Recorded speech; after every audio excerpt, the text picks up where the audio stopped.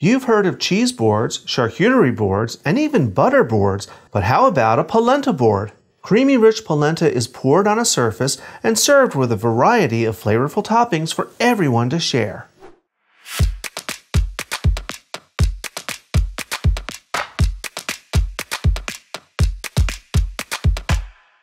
Hi everyone, welcome to today's episode of Let's Celebrate TV. I'm your host, Peter Lee. Today, our celebration is all about polenta, but probably not what you're thinking. We're going to make a polenta board. So, what is a polenta board? You've heard of cheese boards, charcuterie boards, you've probably even heard of the newest trend, a butter board. We're going to do the same thing, but using polenta.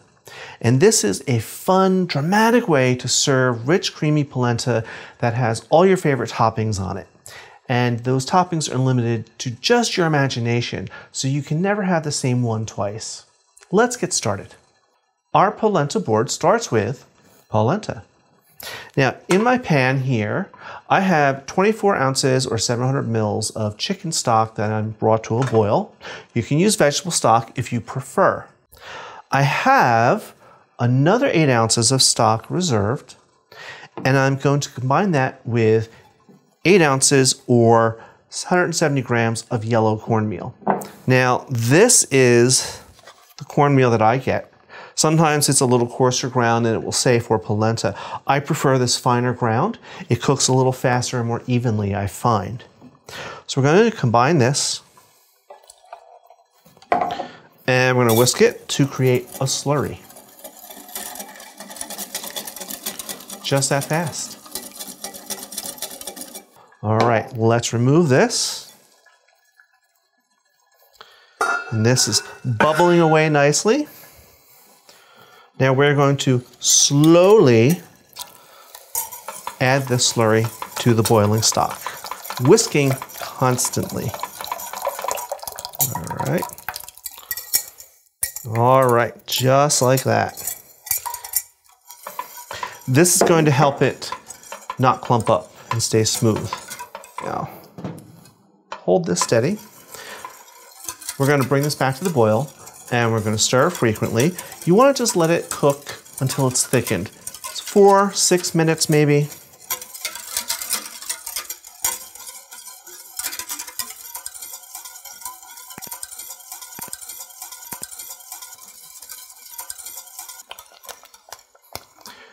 Here we are, nice and thick.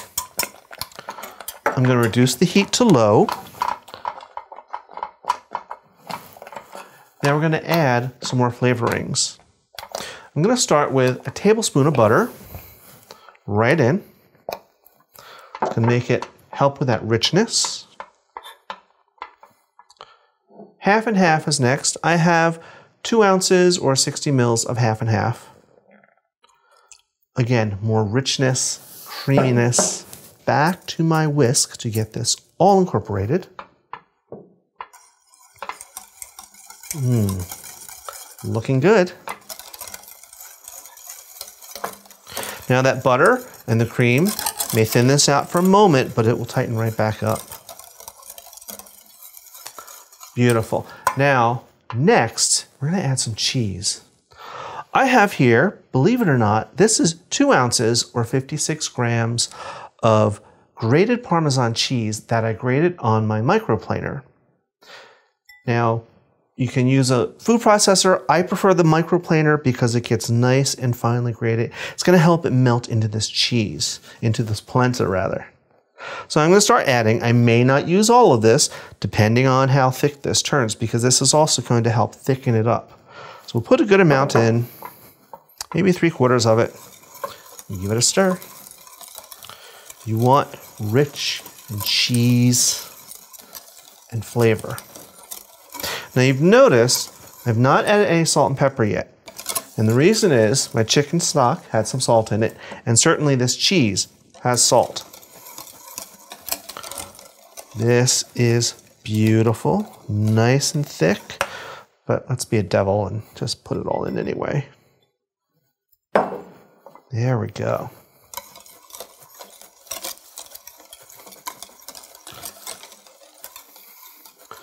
All right, I'm gonna give this a little taste for seasoning. I'm gonna cut the heat. Let's take a little taste.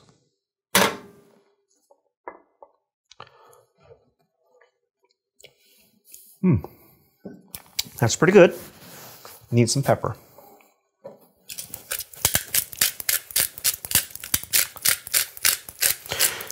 You could use white pepper if you like, but I don't mind the little black and red specks in it. All right, now we're ready to assemble our board. All right, we're ready to assemble our polenta board. Now today I am using a pizza peel. This is just some fun way. Uh, we'll leave you a link to get one. They're not expensive at all and it's great fun. But if you don't have one and you want to make this right away, you can use a cutting board. You could use a long clean table like this. You could use just a big platter. It's all good. So what I'm going to do now, our polenta has just been kind of sitting and resting and setting up a bit, but it's still liquid. We're just going to pour it out onto the board just like this.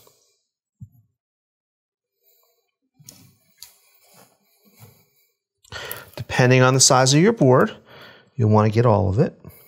Okay. Now, I'm going to smooth this out just a little and really kind of cover the board. Want to get too close to the edges. I don't want to run off, but I want to create a little, maybe a little indent for my toppings.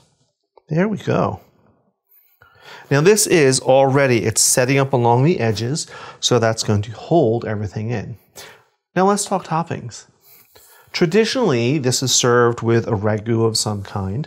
Uh, today, I'm doing two of my favorites. I have some sauteed vegetables. I have eggplant and zucchini, red onions, garlic, kind of like a ratatouille. But you can use whatever you want. Now I'm going to put some here. And I'm going to put some right here. Look at those colors, that those red onions on there. And that green against the yellow cornmeal. It's beautiful. Now this is great for a first course, or if you do a giant one, uh, you can do it as a main event, and then everyone just serves themselves from it. Next, I have some little meatballs in some spaghetti sauce. And we're going to nestle some of those right here. And look at the colors the red against the yellow. How dramatic. Ooh.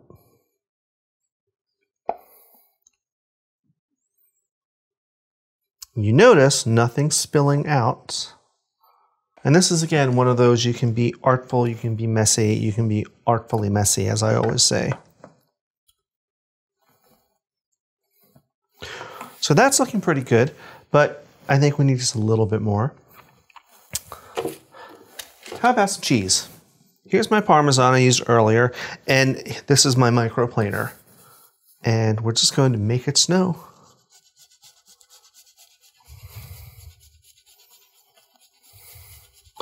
Beautiful. So here we are, it's all nice and cheesy and it's still warm. Now you can finish this up. You could have some nice crusty bread, like a nice ciabatta bread with it. You could use any type of crusty bread, uh, other vegetables, crackers, anything. Let's sneak a little taste though, because this smells so, so good. Hmm. I'm to kind of sneak some from in here. No one will notice. I'll cover it up. Mmm. Wow. That polenta is super, super creamy. You get a little saltiness from the cheese. Having the tomato sauce mixed in, beautiful. Let's try a little bit with this vegetables. Mmm. Delicious. It's fresh, it's creamy, it's rich, it's wonderful. Now, you know what's next. Hmm. As always, we will see you on Tuesdays for our regular episodes, Fridays for basic skills or cocktail Fridays, and every other Sunday for our live streams. Now, while Phil and I go devour this as part of our dinner, I want you to watch some of these episodes over here. So until next time, everyone, cheers.